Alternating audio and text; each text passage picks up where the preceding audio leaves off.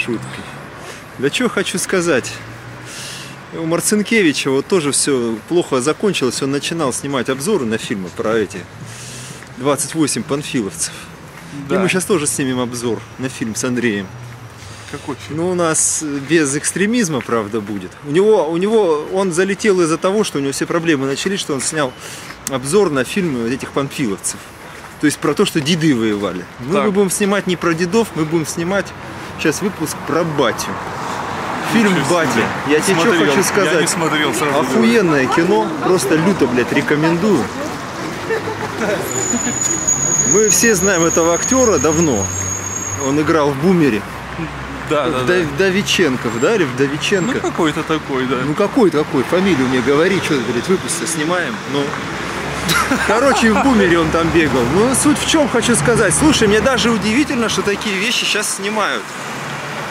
То есть, наверное, они то ли автогол себе забили, то ли что. То есть там смысл в чем, что живет вот этот вот батя, да, в таком полупровинциальном городе подмосковном, да, э, с сыном.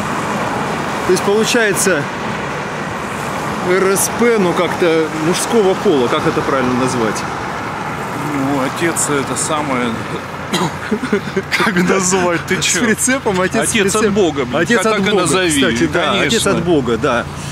И, в общем, показано на сравнении с тем, как вот сейчас живет его сын в Москве, Так, молодой. Вот Так. что детей воспитывают там право-лево, там вот учат по два часа. Ну-ну-ну. А он ему на правой крапиву делал в детстве, говорил, запомнил, что это правое, понимаешь? И ты знаешь, посмотрел фильм, ну просто офигенное кино, ребят. Вот мы вам вот плохого никогда не советуем. Вот можете даже сейчас лайк не ставить, вот посмотрите кино, блядь, вернитесь сюда нахуй и поставьте лайк. Потому что вечер будет потрачен не зря. Причем я бы этот фильм, знаешь, как смонтировал, вот на второй раз смотреть.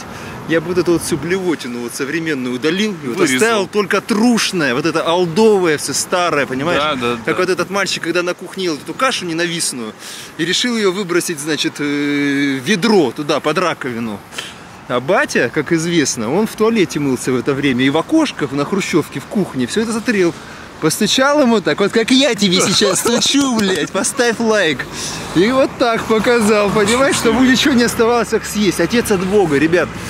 И вот они, может быть, хотели показать с херовой стороны, но на самом деле, вот прям даже захотелось вот так вот, знаешь, вот как-то вот такого всего, понимаешь? Вот именно старого вос- воспитания не хватает. Вот именно такой и должен быть, понимаешь?